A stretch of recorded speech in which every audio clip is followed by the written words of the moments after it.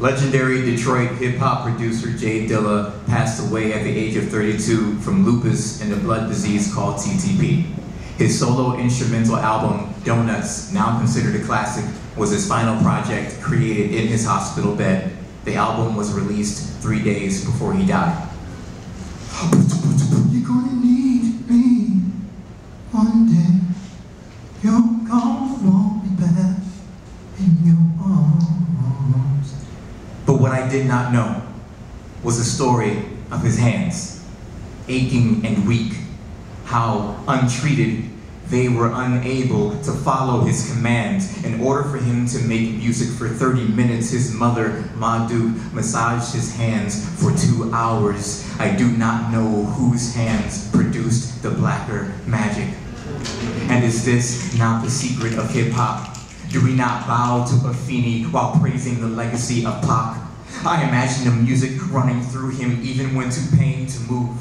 Ma Dukes resuming her work, calmly telling the music you don't have to wait. And who then cared for her hands? Who was there to soothe the soother? The turntable spins in a cycle like a mother's comforting whisper circling back to comfort herself. And is this not the secret of hip hop? At what point did his hands give up on him before she did? When did his eyes lay trapped in the space between music and the original silence? In those last days, did he ever reach for his records while whispering to God. I want to know how music feels when it steps in to guide your failing body, to lift your hand on its own, to finish what you both have begun.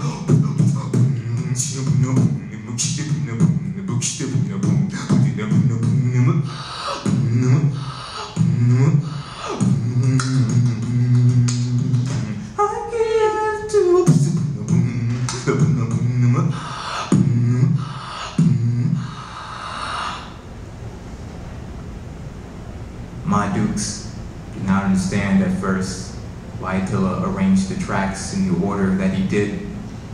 How do you conclude an album of mortality with an intro?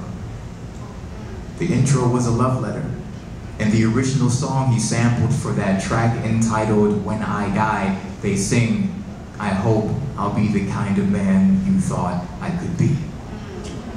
And is this not the secret of hip hop?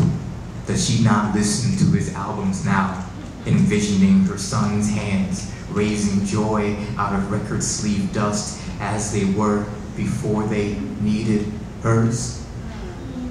You're gonna me